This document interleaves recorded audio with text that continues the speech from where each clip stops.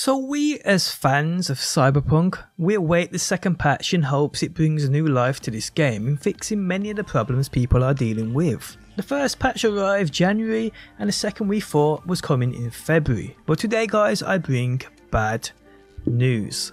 How's it going guys? My name's DPJ and if you enjoyed this video leaving a like really helps out and if you like what you see and want to see more be sure to subscribe. So let's not lie to ourselves.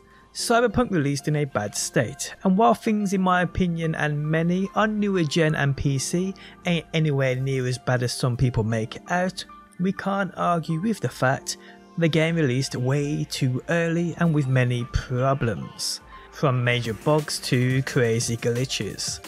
The game just isn't where it should be, and isn't the game we all thought it would be.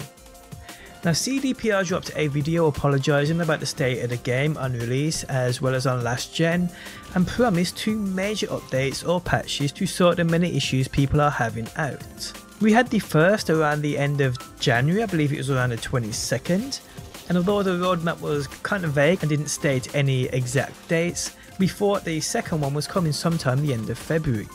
Also just recently CDPR was cyberhacked which obviously halted progress as you'd expect. And well we have a statement now from CDPR in regards to what's happening with the game and when that second patch is coming. So on Twitter they said, while we ideally wanted to deliver patch 1.2 for Cyberpunk in the time span we detailed previously, the recent cyber attack on the studio's IT infrastructure and extensive scope of the update means this unfortunately will not happen. We'll need some additional time. Our goal for patch 1.2 goes beyond any of our previous updates. We've been working on numerous overall quality improvements and fixes, and we still have work to do to make sure that's what you get. With that in mind, we're now aiming for release in the second half of March. It's not the news we enjoy sharing, but we want to make sure we launch this update properly. Stay tuned for more information as the time draws closer. Thank you for the continued patience and support. So there we have it people, the patch 1.2 for Cyberpunk won't be here until more or less the end of March, which is quite a while away. And it makes you wonder, and although this game has its dedicated players, how many are holding out to play the game waiting for this patch? How many held back from playing it from the start due to problems and were waiting on this patch?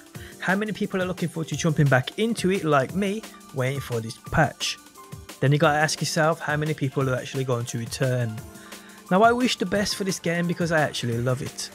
But the longer they leave it, the worse impact it's going to have on the game. And now, with this 1.2 patch coming the end of March, only time will tell people. So I just wanted to update you guys on what's happening as I know many of you like me expected this second patch to come this month. So let me know your thoughts on this down below in that comments section. But guys, on that note, we have come to the end of the video. If you enjoyed it, leaving a like really helps out. If you're new around here and want to see more, be sure to subscribe and hopefully guys, I will see you on that next one.